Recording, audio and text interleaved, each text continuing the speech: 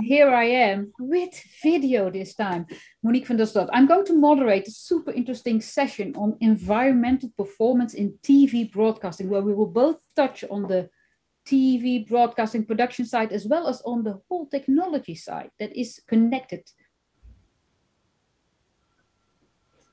All right. So there was a bit of an echo there solved it right now. Let me first introduce two fantastic guests with a lot of expertise, Will Ennett of Talk Talk and Eileen Duggan of RTE. Now, let's start with Will. Will, Talk Talk, you've been there for a long time. It's a broadcaster based on a telecom company that has expanded and offers a loads of services. For those in Europe that don't know Talk Talk, maybe you can briefly explain what they do. Yeah, hi, thanks, Monique. So my name is Will Ennett and I'm head of sustainability at Talk Talk. Uh, TalkTalk is a UK based uh, internet service provider. So uh, we uh, provide uh, internet for uh, homes as well as businesses, as well as a television service, which runs over DTT as well as IP. Very good. So you, you basically have the whole thing from TV to telecom and everything in between, connecting everybody. And Eileen Duggan at RTE, the Irish public broadcaster, you have been at RTE forever. you you know how this company has changed. What is your yes. responsibility right now? Because you've done a lot of different things there. What is your responsibility right now? Okay. I am the Sustainability and Environmental Services Manager for RTE. Um, RTE is like a huge domestic environment because the core business we provide is program making. Um, we're not like a factory which you know manufactures particular products. So we have a very diverse waste impact and environmental impact, and um, we try to manage that as best we can. Okay, now first of all, the good news, of course, is that you guys exist, that this function at these companies does now exist, the sustainability manager. How long have you both been in this role? I mean, how long has have both the companies decided, oh, we're going to do something about this? Will, Oh, okay. Thank you. Yeah, I've been doing the role uh, round about a, a, year, and my background before then uh, was on TV. So uh, at one stage, I was you know running the TV uh, division at Talk Talk. Um, so yeah, so it's it's a great pleasure to. to and really and look- was was there somebody before you, or are you the first sustainability manager? Um, yes, I am the kind of inaugural role. Ah. Uh, and, so and when the- you started, did you get like here's 10 million budget to solve all our problems or do you have budget? Do you have authority? What is given to you to make all this happen? Because it's not a small task. Yeah i think look it's a great it's a great question. I think the key is actually understanding and and and the the reason why i think the role the role is very timely and the role is for now is because uh, you know as a business we've actually been focusing on what's called our scope one and scope two. So for those who don't know, that's your like direct emissions that you emit in your business. Uh, for well over a decade, reporting on that, and that's largely been driven by um, a, a, you know, a, relatively small team that particularly run the data centers in our business, and they've done actually an incredible job. So I must give them a, a praise on this forum, and, and we've we've seen a over 60% drop in our emissions in five years in that scope. Ooh, that's amazing. Well, yeah, so really, you know, quite quite quite uh, amazing. But um, the the nature of the environmental response is really changing, and so particularly now, if we look at scope three, which is your indirect emissions, that's the majority of our emissions. Uh, you know, and we're now at the stage of really calculating that, refining that, making public pledges to reduce those. And that's when you have to look into your supply chain, look into how your customers use your products, which I'm sure we'll talk about as well. Yeah. And so that's probably where, where I was able to come in and, and, and help uh, to um, help challenge some of those wider uh, indirect emissions and the changing nature of it. So. so for now, your role is actually mostly helping the company understand what they can do beyond uh, the emissions from their direct operations uh, on site. Uh, yeah, that's right, because that's by far and away the biggest. So, um, you know, what that means is really working very closely with our largest suppliers, but then also, um, you know, our, our, equipment and devices, which we'll come to uh, no doubt shortly. So the yep. residential devices, the routers, the set-top boxes, they have a really big impact as well. And so again, how do we work with the manufacturers? How do we get, you know, balance both, you know, energy efficiency, with price and quality. And those last yeah. two are probably the ones that most telcos absolutely must tick the box with, with every product they bring to market. I think increasingly um, understanding both environmental but also social values, right? You know, that the supply chain is is free of things like, you know, slavery and, and actually good social. Before you know it, you have to save the whole planet. That's exactly exactly. it's a big Eileen at RTE. What what is your role exactly? What what do you have a big remit? Do, does everybody in the company have to listen to you? What can you decide without others having to say, oh no, we don't want to do that? Can you tell us a little bit what your role is? Well, RTE management operates as a team. And um, I think generally, with regard to sustainability, the whole organisation has to be part of it. So um, our strategy is linked to best practice and uh, collaboration with our colleagues and keeping everyone up to date. Our communications department play a huge role in relaying information to everybody. And uh, the team I work with in property and services uh, we work very much conjoined in the context of energy management, uh, waste management, biodiversity, and all the pillars of um, uh, environmental performance. So we tend to focus on working together. And we have very good governance within the organization and ethical leadership in the context of sustainability. Okay, that, that's great to hear. And, and over the last few years, if you describe what is the biggest change that has happened because of uh, this approach, I mean, what is now being done completely differently or much better than five years ago? What has been the biggest change there? I think in some ways, uh, for many years, I've been working on the same thing, uh, which was recycling and waste management and best practice. Um, but what I've noticed in the most recent years is that we can refine our focus more and look at other aspects like energy performance. And a biggie for us was um, ISO 50001. Um, that's internationally recognized as a very high standard in energy management. And for many years before that, our team had been working in that area. But it's when you get certified that you then get recognized for what you're really doing. So I think in that context, um, I think that that has been a big thing for us all. Yeah, and then it also means that within the, the bigger framework of, for example, all the European public broadcasters, you can actually set the example and show what you've learned and help them also reach that, that very high level, right? I think it's also an example of um, being aware of your um, environmental impact because if you are doing energy audits and focusing on where your um, your carbon is and the opportunities, your list of opportunities, you can then act on this and make measured and informed decisions. Yep, yep. Okay, if maybe the both of you you have different areas uh, that you are experts in on what actually goes wrong and where we can improve, and the improvement levels are both on the production level, on the equipment level, on the energy level. I mean, there are many, many different elements that we can change. I'm talk talking to Will first because you are very much aware of that whole electronic digital world that we now live in, where we consume a lot of stream services, video services via different networks.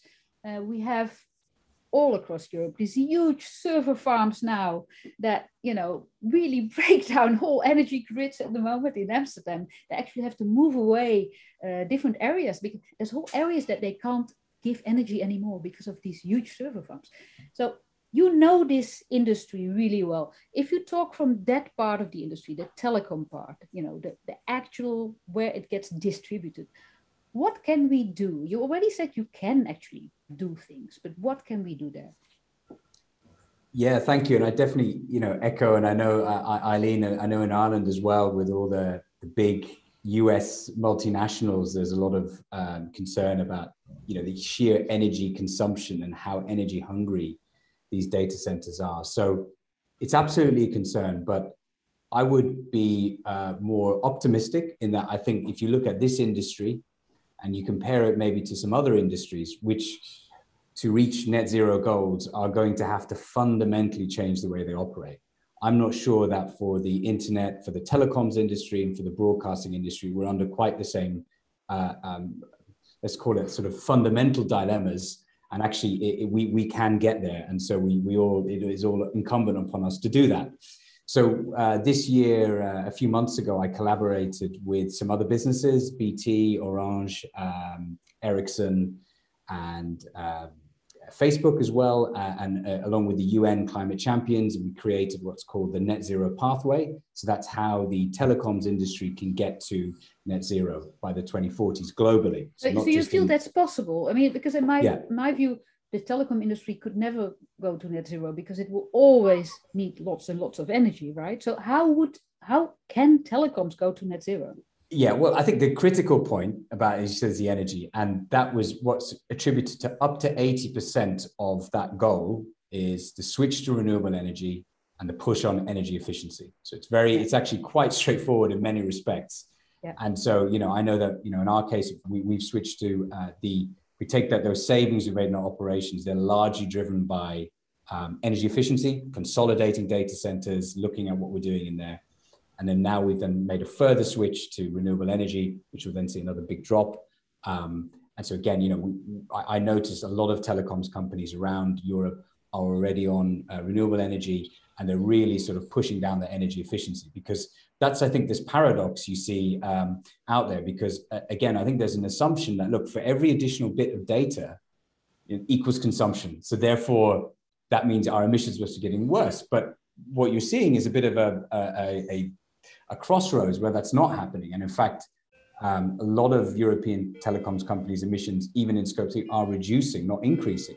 And so, why is that? And it's because so the move to renewable energy, move to energy efficiency means that um, it, it is possible. There's still other big challenges, and so you know we need to tackle the supply chain. Was the second key call out, and the third key call out was e-waste, or you know all those electronic devices. And absolutely, yeah. you know, we need to embrace um, circular practices. So really uh, improving the amount that uh, devices, you know, in any uh, of the broadcasting and, and internet and telecoms uh, world, whether that's in the back office at the networks or in the front office. So the, uh, the routers, the set-top boxes, the TV sets in customers' homes, the tablets, uh, really are, are much better like refurbishment, you know, reuse, and then recycling as well. So you cover, I mean, because that latter part is partly also with consumers. We can mm. discuss that later on, how industry can work with consumers and also improve their habits. But the complete other side, I mean, obviously the telecom industry uh, loves to spend less energy. I mean, that makes their, yeah. their business better. So, you know, yeah. there's an innate driver there. But um, is there also a, a technological development where you can see these things becoming more efficient?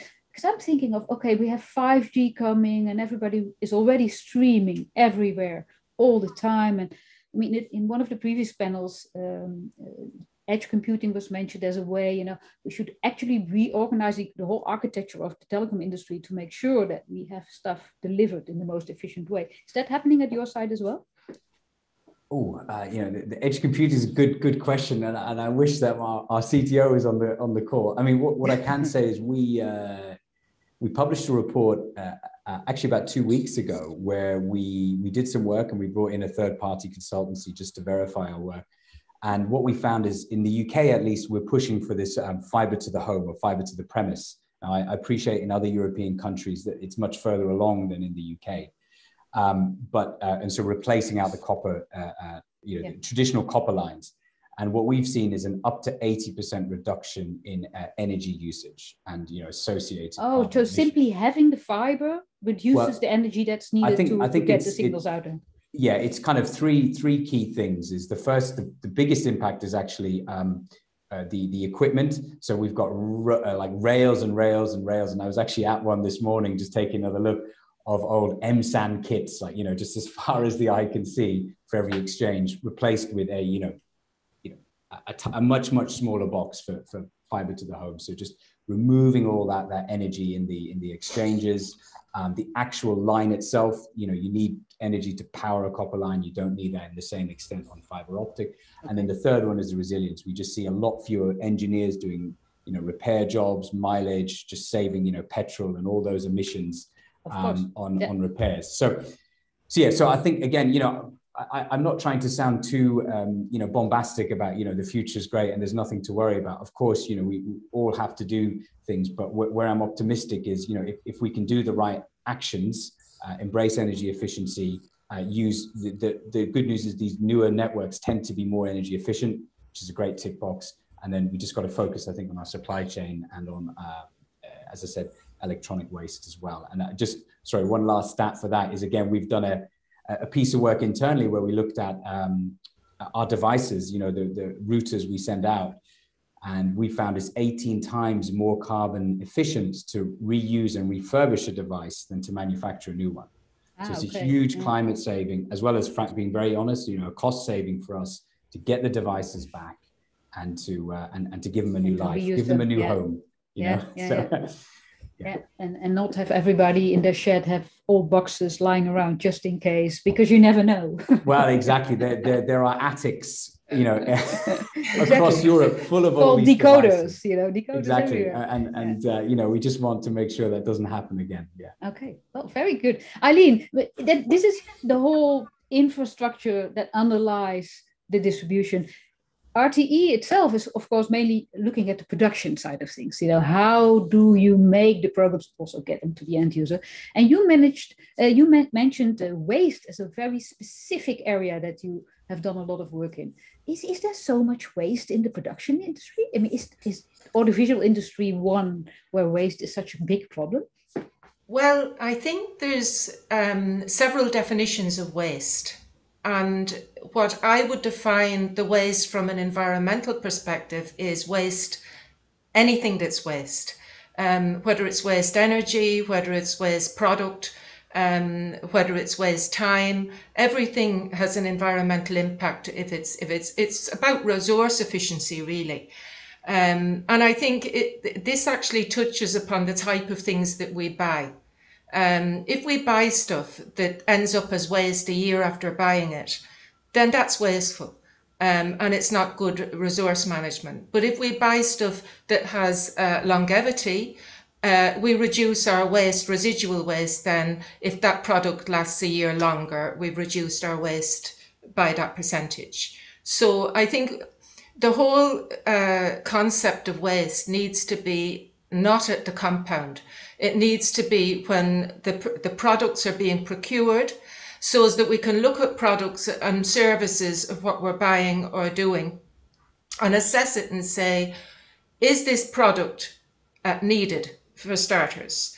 Um, is there a better way and a more sustainable way of doing this?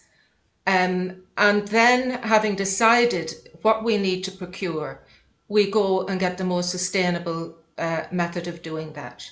But elimination of waste is much better. And the principles of the circular economy are much more effective in the context of sustainability. If you, so, if you talk about procurement, and uh, I would assume that as a, a big buyer of, of products and services, you also have influence on the people that, you know, make those products. I mean, if you say we only are going to buy this kind of thing, more people will say, okay, in that case, I'm going to make it. Is this something that you as an audiovisual organization can do alone? Or is this something where you can actually team up with other big buyers to make it more of a market force to force the suppliers to be more sustainable in everything they do? Because it's not okay. about yourself, eh? it's about okay. how you influence the market out there. Well, we are governed obviously by procurement rules. Um, and but within that framework, we would uh, allocate a certain criteria uh, to the award, uh, the awarding of contracts in the context of uh, sustainability. And this has been uh, multiplied in its uh, value in the context of our need to address our scope three emissions. Um, because when we have recently done an exercise to assess our scope three impact, and this tells us that, you know, this is where we are now. But going forward, we want to reduce any impact or reduce as best we can to best practice uh, the impact of our suppliers. So the only way we can do this is through our procurement process.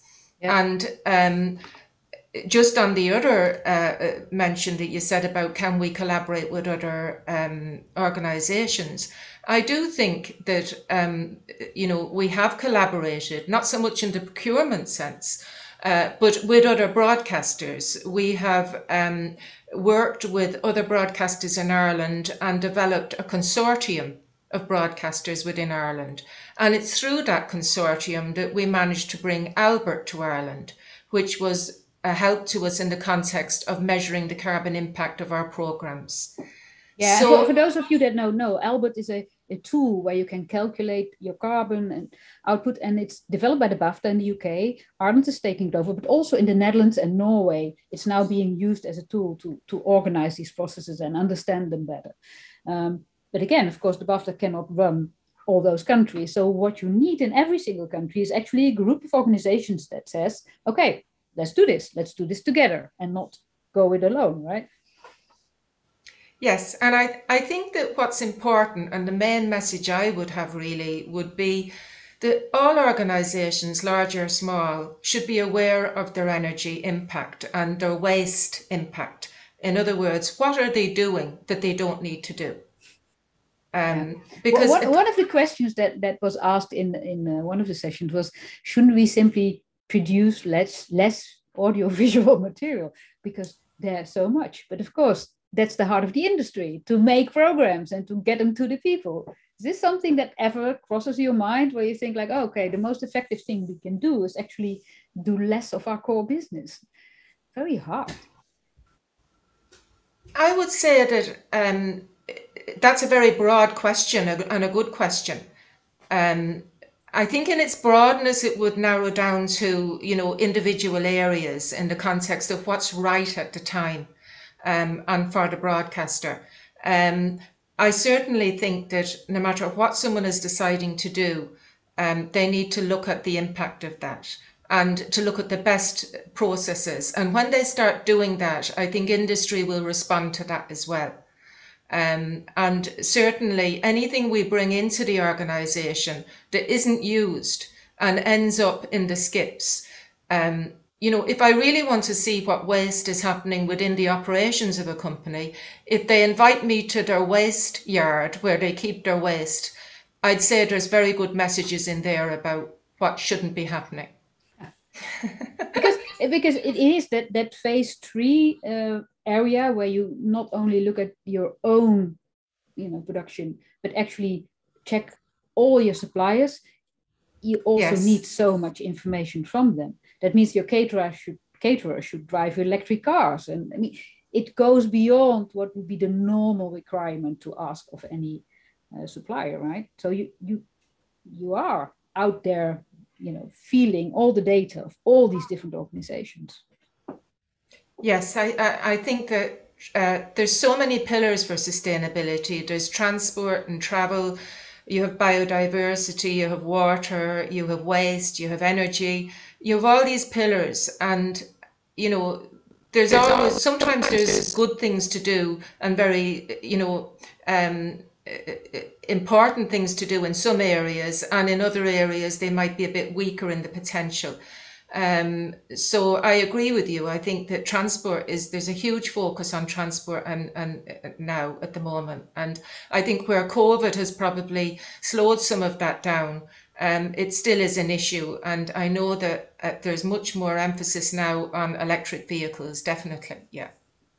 Well, if you look at at the power that you as a more telecom oriented organization says, do you actually feel that? Um, and also, I, in view of that UN report, you know, you take the the big scale development. Do you feel that the industry can actually help stimulate the equipment makers and the other people, that suppliers from that part of the industry to be more energy efficient or more sustainable?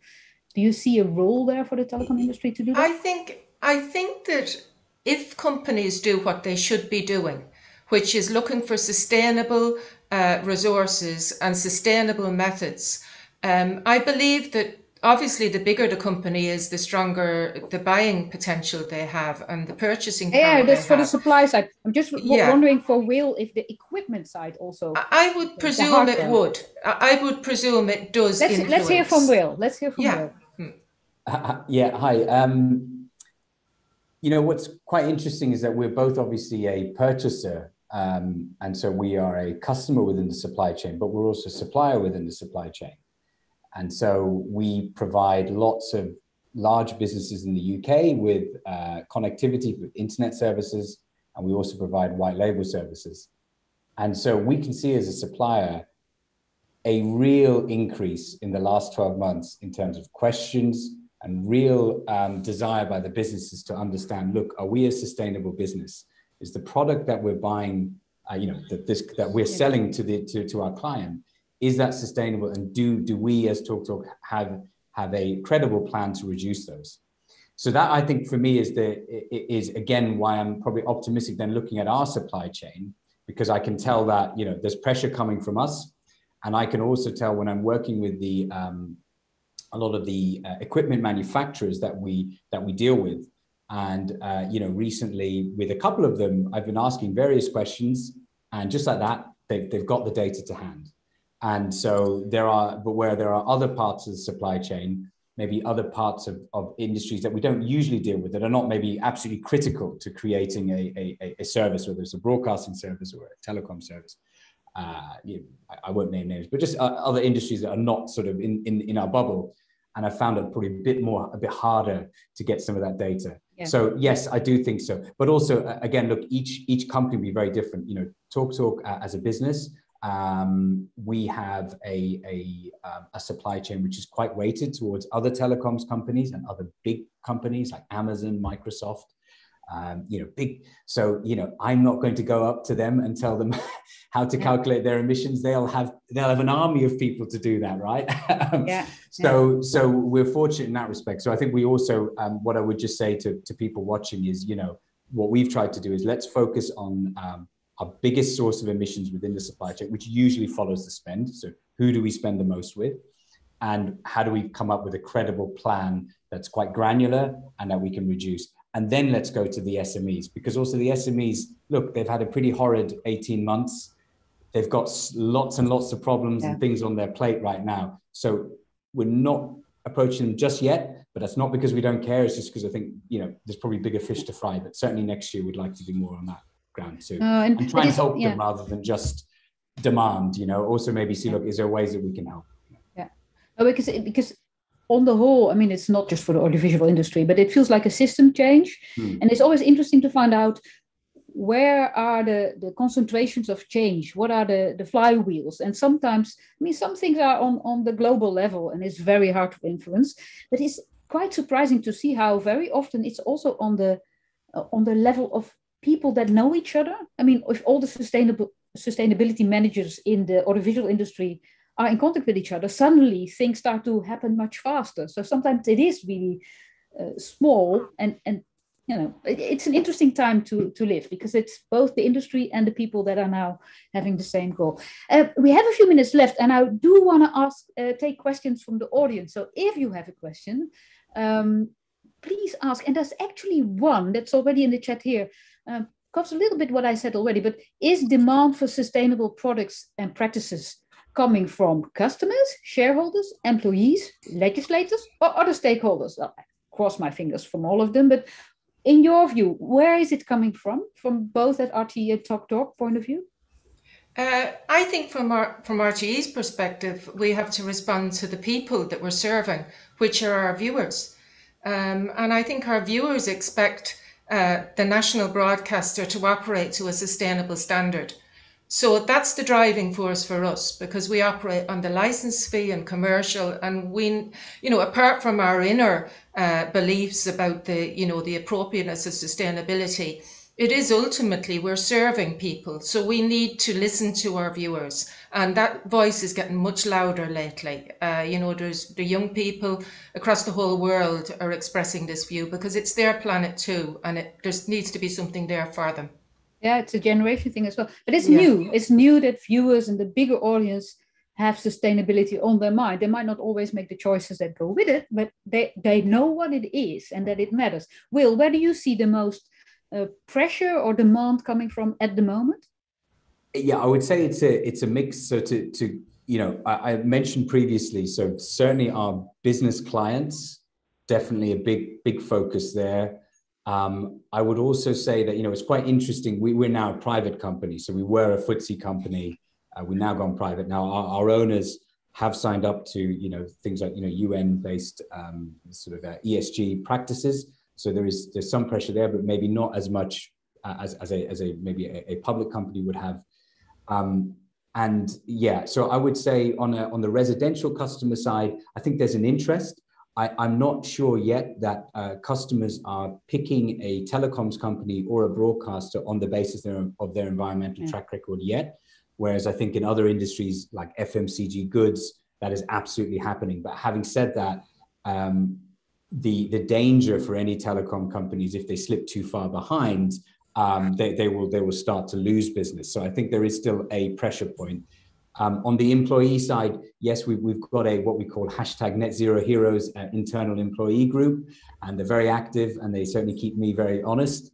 And uh, you know so definitely you know we, we did an internal piece of research uh, you know we saw that by 2030 on the current trajectories uh, gen z and, and uh, uh, yeah, that's the latest generations. Gen Z and millennials will be over 80% of our employee base. So we really have to kind of do something and do something for the future for our employees.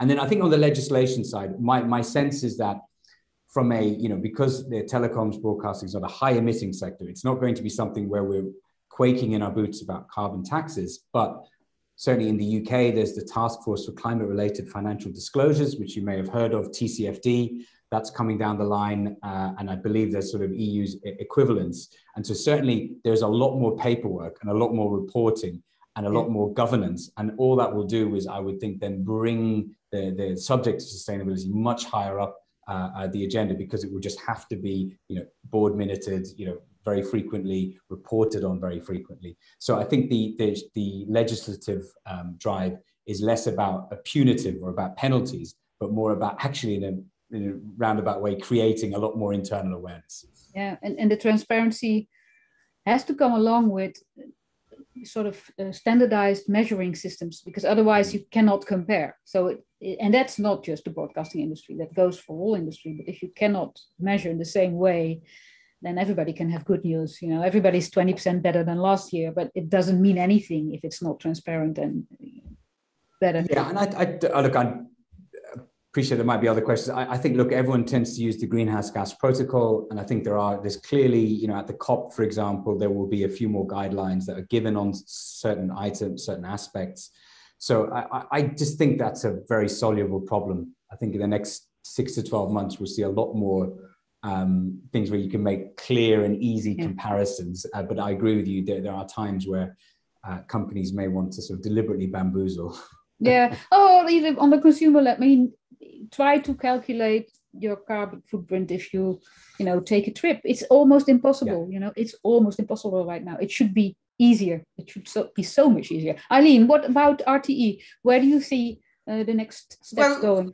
Rte operates under the broadcast authority of ireland and the bai has recently developed a sustainability network which we are part of and have made commitments to in the context of our sustainability and a huge amount is happening um, in context of compliance as well. Because obviously, you know, in a democracy, people decide what they want. The, our viewers, our members of the public, and that eventually gets into legislation across the world. People realize and it becomes compliance. So it's a circular thing in itself. So, from our perspective, I think um, we are very committed. But I think, you know, we're going to have to run a race of trying to stay a little bit ahead of compliance because, you know, compliance is there as well.